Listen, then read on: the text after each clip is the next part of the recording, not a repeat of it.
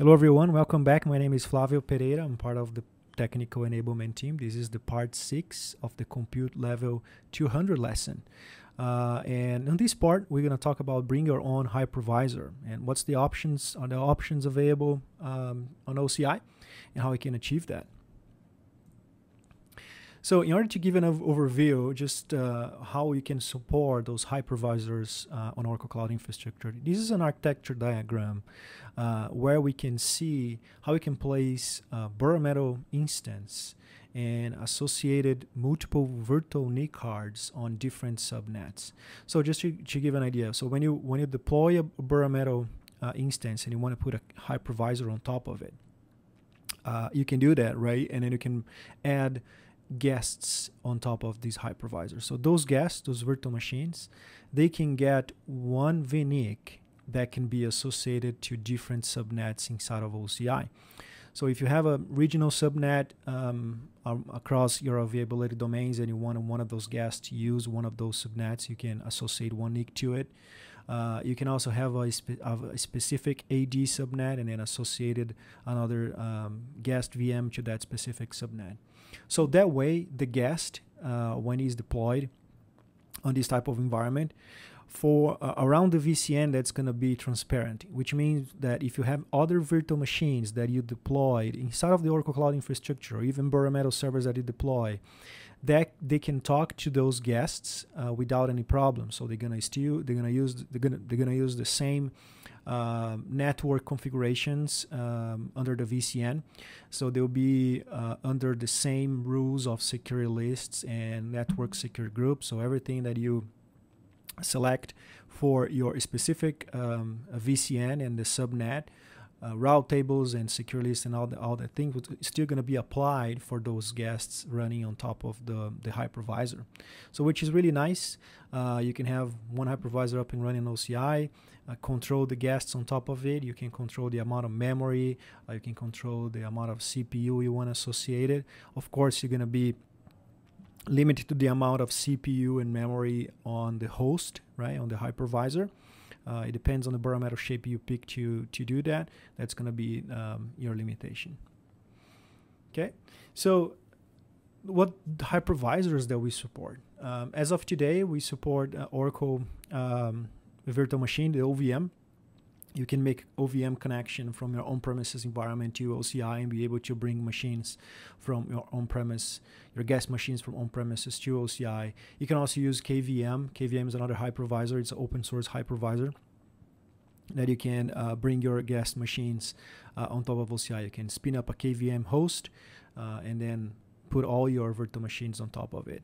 Microsoft Hyper-V is another one. You can have a Microsoft Hyper-V installed uh, on top of the bare metal hosts and then bring the, the VMs on top of it. Right, so that's going to allow you to extend the environment, give more flexibility uh, when you want to migrate um, guests from on-premises to OCI, your virtual machine guests from one of those hypervisors over to the cloud. Uh, let's give you the plan, uh, flexibility to do that. So for those that actually uh, wants to get a uh, um, fast way to deploy a KVM server on Oracle Cloud Infrastructure, you can use one of the images um, that's available in the marketplace. There's a marketplace for Oracle Linux KVM. Uh, that you can easily deploy KVM on one of the bare metal machines available um, available there. And then uh, with that, you can just um, spin up the guests on top of those, um, uh, on top of this hypervisor uh, with all the KVM already installed, and you can start um, creating your, your guests, your virtual machines, and then picking the VC, the subnet that they want to be placed to it. So the only require, requirement is that you really you should be familiar with the KVM commands uh, in order to create a guest, to manage the guest, manage disks, uh, and all that. So that'll be one of the requirements. But the machine, the uh, the image is all prepared with all the right configurations, right parameters in order to have a KVM uh, installation ready for you to use. Okay, so let me do a quick demo. I'm going to show how you can deploy this KVM image from the marketplace in OCI. Uh, and then deploy your, your KVM host and uh, on, on Oracle Cloud Infrastructure. All right, so let me do a quick demo and show you how you can have your KVM um, server in, installed on, on OCI. And I'm going to use the KVM image uh, that I that I presented on the on the presentation. So let me just go through uh, the demo. So here you can see I have I'm logging on the OCI console. If I go on the left menu uh, and select compute instances, uh, I can let's just pick up my compartment and I already have a KVM server deployed. Um, I just want to show how, how we go to the process of launching that image through the marketplace. Then we can come back and access that instance uh, uh, once once it's ready. So let me let me go to the process of creating the instance. When you click here, create instance, uh, of course you can enter a name. Uh, then you can see the the image right, uh, of Oracle Linux, that's a default one. So in order to, to do, to change and use the KVM, we can click on change image source. And if you click on Oracle images, you're going to see a bunch of Lima images available in the marketplace that you can take um, you can take a look and use it. Uh, depends on your workload or what you're trying to accomplish. But you can see from JD Edwards, EBS, Oracle Autonomous Linux, Developer Image. Uh, and if you scroll down, you're going to see the Oracle Linux KVM image. So I'm going to select this one. And I have to accept uh, the terms and restrictions. And then I can um, I can pick the availability domain that I want to deploy. And as you can see, the image is not available for virtual machine. It's only available for metal machine. I can switch here to the metal shape. And this is the metal shape that I'm to use it. It's uh, BM standard 2 with 52 CPUs and 768 gig of memory. I can change, uh, select the, the network configuration, um, my public subnets or my private subnets if I have if I have one created. Then I, I can in, inject my SSH key as well. And then once I have it, I can click create, uh, and then the, the, instance will be will be up and running, right? So as I have one already, so let me just show how you access that and what exactly is inside it.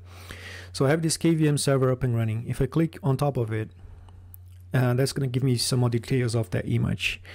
Uh, I have a image of Oracle Linux KVM that I use here to deploy uh, was deployed in availability domain one using fault domain one. This is the shape that I use it uh, for that specific um, host. So you can see I have the public IP.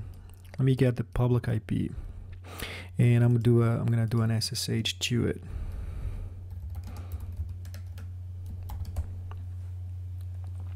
Okay, so inside of the the server, uh, I can check the amount of CPUs, right? I do have 52. Um, it's uh, enabled, so you can see from 0 to uh, 103 uh, CPUs available. Um, I have uh, almost um, yeah, 768 gig memory on, this box, so it's a it's a powerful box. And as I have a KVM installed, let's just check the the packages. If we do rpm-qa pipe KVM so I can see all the KVM packages installed um, on this box. So if I, as a, as a regular KVM, I can use the virsh commands to actually list the guests uh, that I created here. So if I do virsh list dash dash all, I do have a CentOS uh, 8 guest up and running. So this is a guest that I created. I created with four CPUs and 8 gig uh, memory um, this guest.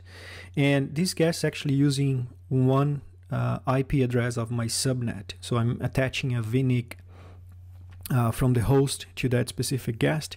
And I'm also running the boot volume of this guest uh, on top of a block volume that was attached to the to the hypervisor host. So if I go back here to the details and scroll down a little bit here, I can see the the attached VNICs. So this is the actually the private IP of my uh, instance.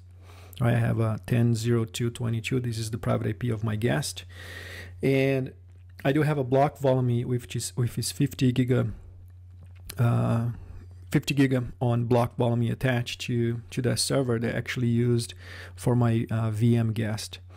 So if I if I pick up the private IP here and from the host here, I can do an SSH to this. So I didn't set up a uh, SSH uh, key for that specific guest, but of course you can do that. Uh, it's just for um, the effect of the demo here. So let me just access this uh, guest. Okay, so here's a, here I'm inside of the guest. If I check the the, the amount of uh, CPU, I can see it's four CPUs um, available, and I have 8 gig RAM on memory right? So if I check the network it's actually as you can see is using the 10.0222 so that means any other uh, virtual machine that I, I, deployed in OCI can actually talk to the server on the same uh, subnet right so this guest is it's actually part of the, the, the subnet in the VCN. So any other machine on the same VCN will be able to, um, you know, exchange information, talk to this this uh, VM guest without having to go through hops of routers and, and configuration. So it's on the same, it's on the same network right? So from here you can install any application. Uh, you can even put a load balancer. Uh, if you install, like, for example, web server, put a load balancer using OCI and redirect traffic to uh, that specific IP address.